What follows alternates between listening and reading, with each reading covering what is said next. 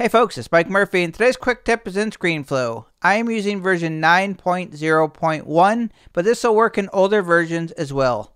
In this tutorial, I am going to show you how to publish your video from ScreenFlow directly to your YouTube channel.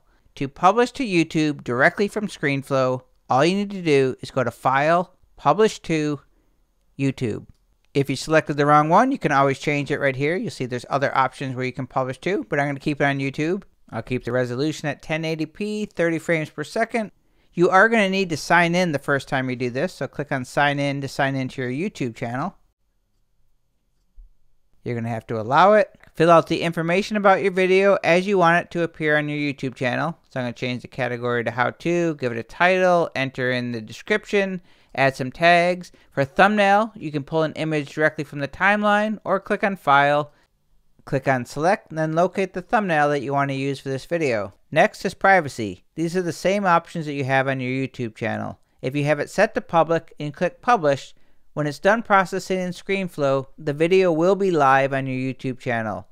You can select unlisted where it'll still publish to your YouTube channel, but only you can see it unless you share the link. Select private to keep the video private on your channel and select scheduled if you want to schedule your video to publish on your channel at a set date and time. So check the privacy setting that you want. I'm just going to choose unlisted for this example and click publish when you are ready and ScreenFlow will start exporting to your channel.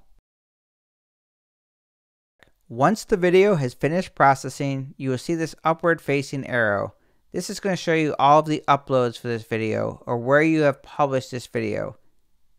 You'll see there's the YouTube icon, there's the title, here's the link to the YouTube video, and if I click on this arrow here, it's going to take me directly to my YouTube channel. There's the title and the description that we gave it in ScreenFlow. There are the tags. If I go to more options, there's the category, how to, and you'll see in visibility it is unlisted so that's what we set in the privacy settings in ScreenFlow and if I want to make this video go live I just click on public and save it out. My name is Mike Murphy and that is how you publish from ScreenFlow to YouTube. Cheers!